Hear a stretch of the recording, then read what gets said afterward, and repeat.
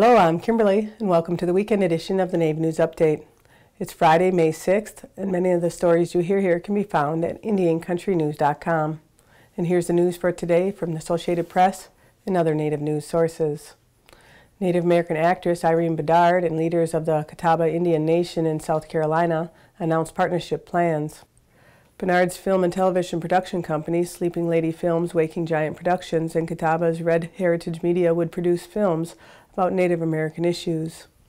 As an advocate and one of the most recognizable Native American actresses, Bedard lent her voice as Pocahontas in the animated Disney film and now hopes to lend her voice and influence to the Catawba Indian Nation.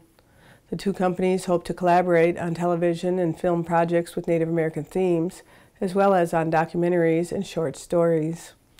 The Catawbas purchased Red Heritage Media earlier this year and hope to build a $350 million movie studio project on 124 acres of tribal land in eastern York County with Studios South. The plans include multiple sound stages, a five-star hotel, a new Catawba Cultural Center, a school for film and music, and retail and offices.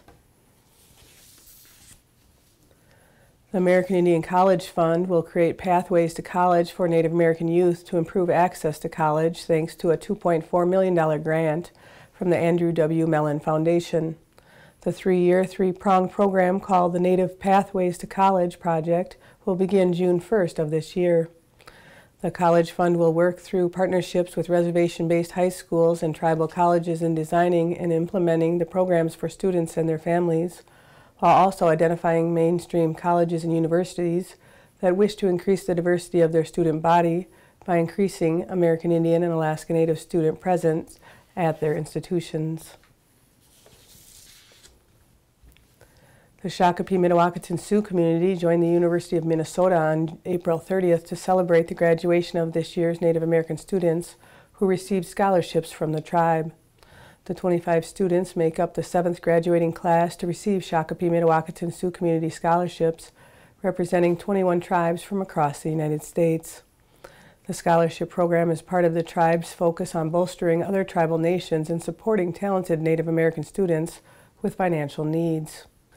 About 200 Native American students have received the SMSC Endowed Scholarship in the past eight years.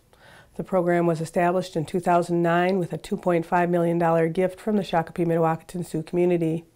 The University of Minnesota matches the scholarship payouts from the endowment fund.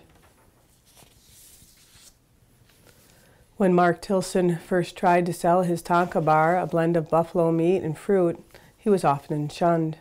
Now, years later, he is working with Whole Foods to promote his company's health food snacks, Tanka Bar and Tanka Trail. Tilsen is president and co-founder of Native American Natural Foods that produce the fruit and meat bars. Tilsen and his business partner, Karlene Hunter, co-founded the company in 2007. Though the buffalo fruit snacks were dismissed by some initially nearly nine years ago, these low-calorie natural protein snacks are now sold nationwide at some 8,000 locations. In January, the company released five new products with Whole Foods, including two new flavors for the Tanka Bar and three new Tanka Trail snacks.